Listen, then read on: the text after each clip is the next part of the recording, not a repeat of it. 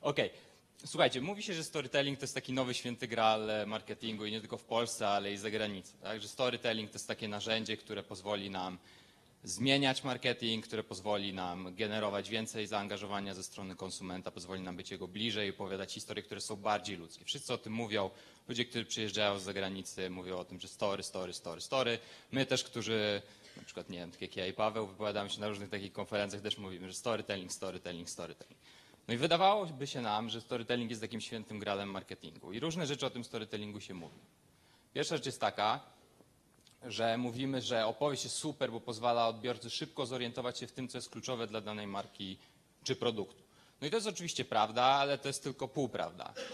No bo dobry claim, taki claim jak claim marki Mercedes, czyli the best or nothing, też świetnie pozwala się zorientować w tym, co jest wartością w naszej marce i na co nasza marka stawia. Więc nie potrzebujemy storytellingu. Inna rzecz, o którą mówimy o storytellingu, to jest, że opowieść w przeciwieństwie do suchych faktów czy liczb przemawia obrazami skierowanymi do wyobraźni i emocji odbiorcy, dzięki czemu zostaje na długo w jego pamięci. Oczywiście to jest coś super, tak? Wszyscy byśmy chcieli, żeby ta komunikacja, czy to jest zwykły marketing tradycyjny, czy to jest content marketing, zapadała w pamięć. No ale czy tylko storytelling jest w stanie nam to dostarczyć? No oczywiście nie. No wystarczy, że mamy komunikację, która jest otwarta na świeżych kodach, kodach pobieranych z kultury, czegoś, czego jeszcze nie mamy w tradycyjnym marketingu, czyli nie pokazujemy jakiejś rzeczy. I tak było w przypadku sieci Play, która totalnie odcięła się od dotychczasowej komunikacji wielkiej czwórki operatorów i mamy komunikację zapamiętywaną. Ja staram się nie pamiętać o reklamach, oglądam bardzo dużo reklam i przez to prawdopodobnie też ich nie pamiętam, no a ta cały czas siedzi mi w pamięci, mimo że to już minęło lat jak nie 10, to naście. Więc e, storytelling, no nie był to storytelling, więc e, być może wcale go nie potrzebujemy. Trzecia rzecz, no oczywiście generowanie zasięgu i to byśmy wszyscy bardzo chcieli, tak? Storytelling, czyli taka zaraźliwa metoda, bo wpisuje się w nasze biologiczne mechanizmy tego, jak mówimy, przekazujemy opowieść z ust do ust. Fajnie było, żebyśmy się nie udzielili, a w marketingu nam zależy na tym, żeby ten content był szerowany. No więc oczywiście wydaje się, że storytelling jest takim idealnym sposobem, żeby dojść do Twittera, dojść do Facebooka i dotrzeć poprzez niego do milionów ludzi. No oczywiście, czy to jest nam potrzebne? Nie, no wydaje się, że wystarczy, że włożymy naszą markę we właściwe miejsce w sieci. Tutaj abstrahuję je, B. Jeden prosty filmik, 3 miliony dotarcia. Nie trzeba wymyślać żadnych wielkich opowieści, które będą miały skomplikowane przesłanie, albo będą miały wielkiego bohatera, albo będą miały wielki konflikt. Wystarczy tylko, że ustawimy się we właściwym miejscu. Więc storytelling oczywiście jest wartościowy, ale nie zawsze i nie wszędzie. Natomiast chciałbym zwrócić na jedną bardzo ważną rzecz dzisiaj uwagę, na rzecz, o której my w przypadku storytellingu bardzo często zapominamy. No bo storytelling to są tak naprawdę trzy elementy. Pierwsza rzecz to jest bohater, czyli na przykład, nie wiem, e, nie wiem, Batman w przypadku filmu Batman, Gladiator w przypadku filmu Gladiator, w przypadku filmu Avengers niech to będzie Thor, Iron Man czy Hulk, czyli Osoba, która uosabia nasze wartości i stara się zrealizować jakiś cel, ochronić ziemię, samemu odkupić swoje winy, e, prowadzić sprawiedliwość na świecie, cokolwiek to nie będzie. I my jesteśmy bardzo dobrzy, jeśli my, jak, kiedy mówię my, mówimy marketingowcy, jeśli mówimy o tych dwóch sferach, tak? Czyli mówimy o kreowaniu bohatera, no bo wiadomo, że mamy wartości marki, mamy jakieś tożsamości użytkownikach, pięknie potrafimy o naszych użytkownikach i o tym, czym nasza marka jest jako bohater opowiedzieć. W tym jesteśmy bardzo dobrzy. Jesteśmy bardzo dobrzy w mówieniu o celach, czyli o tym, co możemy osiągnąć dzięki produktowi albo co możemy osiągnąć dzięki kontaktowi z marką. A więc ta wizja marki, obietnica marki, czyli to, co teraz w storytellingu ja nazywam celem, no jest to znane i wszyscy o tym wiemy. Natomiast zapominamy o czymś bardzo ważnym albo wypieramy coś, co jest kluczowe dla storytellingu, a właściwie bez czego storytellingu nie ma. Czyli coś, co powinno być pomiędzy bohaterem a celem. Coś, co zobaczymy w tej reklamie. O, nie zobaczymy. Poproszę o film.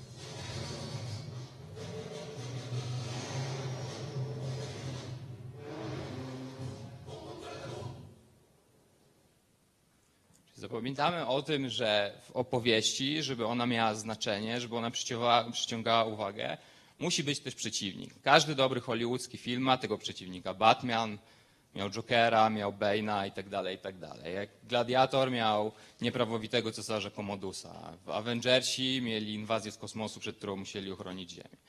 My często, kiedy myślimy o komunikowaniu marketingowym, myślimy o tym, że musimy powiedzieć same pozytywne rzeczy. Oczywiście, że musimy powiedzieć coś dobrego, no bo ludzie są same pozytywne rzeczy od nas usłyszeć. Że mówienie o czym, że jesteśmy przeciwko komuś albo przeciwko czemuś, jest z gruntu złe, że ludzie tego nie chcą, że ludzie to odrzucają.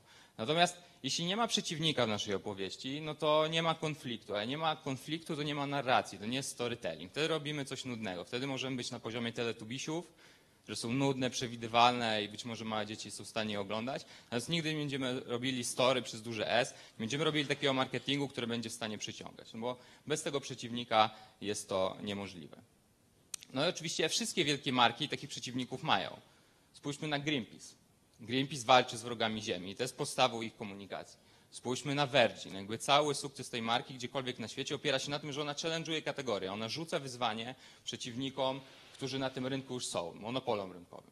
Spójrzmy na Harley'a Davidsona. No jakby nie byłoby sukcesu tej marki, gdyby ona w tak jasny sposób nie opowiadała się przeciwko temu, że korpo świat, ten, którego od 8 do 16 musimy chodzić do pracy i w którym jesteśmy bardzo silnie sformatowani jako ludzie, że możemy się z niego wyrwać. Czyli bez tego przeciwnika nie byłoby Harley'a Davidsona. Lego nie byłoby bez otępiającej rozrywki. Tak? Mówienia nie, jakby nie ma sensu siedzieć przed telewizorem, nie ma sensu idiotycznie bawić się tabletem, nie ma sensu robić różnych głupich e, rzeczy. Trzeba bawić się klockami Lego, bo one są kreatywne. Tak? Czyli ten przeciwnik jest kluczową kategorią w przypadku tych marek. No i oczywiście marka Ajax, Brut i Kurz, no to wszyscy wiemy, tak? Czyli musi być to napięcie, musi być ten przeciwnik. Każda wielka marka ma przeciwnika, jeśli chce być wielka i chce dobrze opowiadać i chce przyciągać uwagę, to tego przeciwnika musi sobie zdefiniować. Więc odpowiedź na pytanie, kim jest nasz przeciwnik i co my z tego tytułu e, możemy mieć, że zdefiniujemy go dobrze i opowiemy się przeciwko niemu, jest bardzo ważna. No oczywiście ten konflikt, który generowany jest z przeciwnikiem, może być bardzo różny od takiego banalnego, no bo zawsze wiemy, że Ajax zatriumfuje nad brudem i kurzem, wystarczy troszkę pojeździć szmatką. No a w przypadku Greenpeace'u bardzo różnie to wygląda. Ostatnio Greenpeace e, nie jest na fali, tylko raczej pod falą, więc nie wiadomo, czy ta walka, w którą oni się wdali, e, jakby może przyniesie takie skutki, jakich oczekują. No i teraz, po co jest nam ten przeciwnik? I teraz będą trzy odpowiedzi na to pytanie, trochę inne niż byśmy mogli się spodziewać. Bo przeciwnik pozwala nam dużo lepiej zdefiniować wartości marki o której mówimy. No bo wydaje nam się, że wystarczy powiedzieć, że nasza marka jest domowa i ludzie zrozumieją, że ona jest domowa, albo pokazać, że ona jest domowa i oni zobaczą jakiś obraz domu. Owszem, zobaczą, ale tak jak mówi, tak jak mówi ten pan, każdy z nich zobaczy coś innego. To jest Jacques Derrida. On mówi, że każde pojęcie my definiujemy bardzo indywidualnie. Żeby tak naprawdę dotrzeć do konsumenta i powiedzieć mu dokładnie to, o czym byśmy chcieli powiedzieć, powiedzieć, jakie są nasze wartości marki, co jest dla nas najważniejsze. Nie wystarczy mu powiedzieć, czym jest dom. Trzeba mu powiedzieć, czym ten dom nie jest. Tak? Czyli znaleźć zaprzeczenie danego pojęcia. Czyli jeśli mamy wartość bezpieczeństwa, to musimy powiedzieć, czym jest niebezpieczeństwo, czym jest sytuacja zagrożenia, czym jest sytuacja stresu. I dopiero w napięciu pomiędzy tymi dwoma pojęciami, czyli w momencie, w którym zdefiniujemy sobie coś, przeciw czemu nasza marka jest, będziemy w stanie powiedzieć, i dobrze zakomunikować i skutecznie i wyraziście to, e, za czym nasza marka się opowiada. I zobaczmy, jak to zrobiła marka Smart. No, marka Smart to jest marka, która ma duży problem, ponieważ ona tak naprawdę opowiada się za bardzo trudnymi konceptami. No bo żeby pokochać Smarta, trzeba wiedzieć, co to jest konsumpcjonizm, trzeba wiedzieć, co to jest ekologia, trzeba wiedzieć, co to jest minimalistyczny styl życia. Ja się staram dowiedzieć, rzadko kiedy mi się udaje, jeszcze do tej pory nie wiem. Więc być może jakby taktyka powinna być zupełnie odwrotna i zobaczmy, co oni zrobili w 2010 roku w Ameryce. Poproszę o film.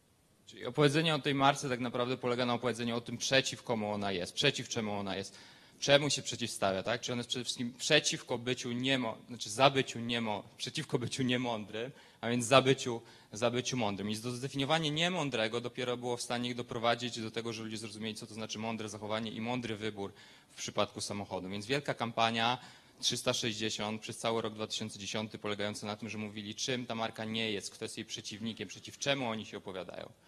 Podobnie w przypadku Brudoga, który w 2007 roku w Wielkiej Brytanii chciał zdefiniować to, czym jest piwo koncepcyjne. Oczywiście piwo koncepcyjne jest super trudnym konceptem. Pracuję z branżą piwną od wielu, wielu lat i dalej tak naprawdę nie wiedziałbym, jak zdefiniować ten koncept. Więc co robi Brewdog? Brewdog robi wielką kampanię i content marketingową i tradycyjną, w której pokazuje, czym nie jest. Czyli kto jest jego przeciwnikiem, a jego przeciwnikiem jest piwo Stella Artois, Grolsch, Becks, Carlsberg, czyli każdy mainstreamowy lager produkowany w milionach hektolitrów, w którym nie ma, e, w którym nie ma smaku, nie ma żadnej wyrazistości. I dopiero w momencie, w którym oni byli w stanie powiedzieć, nie, my nie jesteśmy mainstreamowym lagerem, czyli zdefiniowali tego przeciwnika w swojej opowieści i byli w stanie zbliżyć konsumentów do rozumienia tego, czym jest piwo koncepcyjne. No i właśnie ta różnica pomiędzy powiedzeniem jesteśmy piwem koncepcyjnym, co pewnie byłoby taką domyślną odpowiedzią nas jako marketingowców, a powiedzenie nie, nie jesteśmy piwem korporacyjnym, nie jesteśmy piwem z wielkiego browaru, było tą różnicą, która zaważyła na wprowadzeniu tej innowacji i sukcesie, bo ta marka teraz jest jednym z największych piw kraftowych w Wielkiej Brytanii, więc zdefiniowanie tego przeciwnika pozwala lepiej nam opowiedzieć wartości marki. Ale także z drugiej strony, jeśli spojrzymy na nasze relacje medialne, no to widzimy, że zdefiniowanie przeciwnika może być bardzo potrzebne. Dlaczego? Ponieważ w mediach konflikt jest czymś, co media uwielbiają, tak? Pytanie, kto kogo pokona, kto jest po której stronie, PiS czy PO, kto teraz będzie na górze, a kto teraz będzie na dole, no to jest coś, czym media się żywią. I analogicznie użytkownicy chcą wiedzieć, jakie są konflikty i po której stronie tych konfliktów stanąć, no bo to pozwala im opisać świat. Więc w momencie, w którym marka jest w stanie powiedzieć, że jest za jakimś konfliktem i opowiada się po której stronie, jest w stanie opowiedzieć, kto jest przeciwko niej i jakie wartości są e, jej nieprzychylne, to to jest moment, w którym ta marka w mediach e, wygrywa. No i oczywiście są to takie banalne przykłady. Apple versus IBM, Virgin versus British Airways i wszystkie inne kategorie, w których Virgin istnieje. W Polsce Play versus Wielka Czwórka. Ostatnio Tesla Motors przeciwko całemu amerykańskiemu biznesowi, w momencie, w którym mówią nie, my otwieramy patenty, nie będziemy bawili się w grę amerykańskich korporacji, która polega na skupowaniu patentach, patentów i czerpaniu z nich korzyści. My jesteśmy przeciw e, great is good. Ale nie trzeba być challengerem, żeby potrafić to dobrze wykorzystać. Spójrzmy na to, co zrobiła e, marka Virgin. Virgin mówi, my nie jesteśmy British Airways, my jesteśmy zupełnie kimś innym. Mówimy nie, mówimy nie, to jest nasz przeciwnik i my się w związku z tym opowiadamy przeciwko niemu. Więc cały sukces medialny marki Virgin czy w przypadku Virgin Atlantic, czy w przypadku każdej innej kategorii, jest właśnie powiedzeniem nie, zdefiniowaniem przeciwnika, tego czemu my jesteśmy przeciwni, dopiero potem powiedzenie, za czym my jesteśmy. No i oczywiście to może być kwestia challengerów kategorii, ale może być też kwestia opowiedzenia się po której ze stron sporu kulturowego. Wyobraźmy sobie najnudniejszą kategorię na świecie, czyli kategorię krakersów śniadaniowych w Stanach Zjednoczonych. Okay? Jakby ciężko sobie wyobrazić kategorię, w której można byłoby zbudować jakikolwiek konflikt w momencie, w którym jesteśmy marką krakersów i chodzi tylko o to, żeby posmarować nas serkiem Filadelfia i dać dziecku do ust. No jakby kategoria mlekiem i miodem płynąca, jakby zawsze pozytywna i zawsze dobra. No i co się okazuje? Marka Honeymade w Stanach robi kampanię This is Wholesome, w której pokazuje, że ona jest przeciwko rodzinom, w których, e, że przeciwko definiowaniu rodziny jako miejsca, w którym wykluczamy kogoś tylko dlatego, że ma inny kolor skóry, że związek jest jednopłciowy, że najważniejsza jest miłość i co z tej miłości wypływa. Czyli po, opowiedzieli się bardzo wyraźnie po jednej ze stron sporu kulturowego w Ameryce. Powiedzieli ci, którzy wykluczają i mówią, że rodziny można podzielić na te, które są dobre i te, na które są złe, są w błędzie.